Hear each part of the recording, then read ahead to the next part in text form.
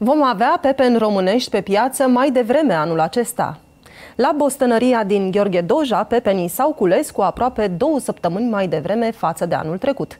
Cu toate acestea, Andrei Boitoș, care cultivă 27 de hectare în bazinul legumicol din Nealomița, spune că va mai dura o perioadă până când se vor găsi pe rafturile retailerilor pepenii românești.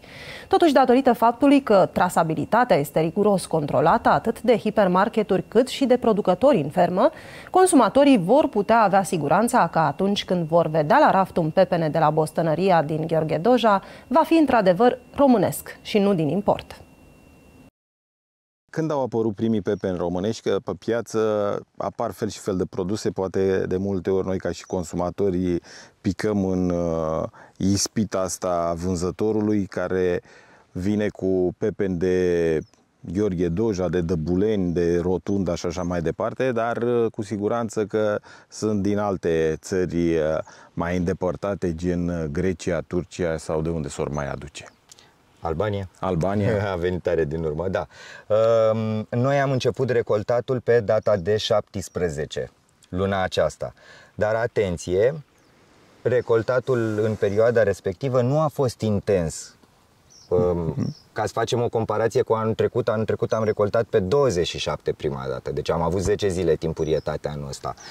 Uh, dar cantități mici. În primele 5 zile au fost cantități mai mici, acum, săptămâna aceasta, ce am început să recoltăm mai, uh, mai intens. Uh, bineînțeles, există o perioadă de tranziție unde sunt prezenți în piață și pe pen românești și pe pen din, uh, din import. Probabil sunt și oameni răi intenționați și cumpără din alte țări și vând. Nu știu să vă spun asta, nu pot să controlez eu și nu cred că sunt în măsură să fac eu mhm. treaba aceasta. În schimb, pe procedura pe care lucrăm noi la bostănărie, e foarte greu să se întâmple lucruri de genul. În primul rând, ajung pe penii noștri în marile lanțuri de, de, super, de retailer din România. În al doilea rând, noi facem analize, ei fac analize, analizele făcute de ei vin făcute prin sondaj, noi nu știm când se fac analizele respective.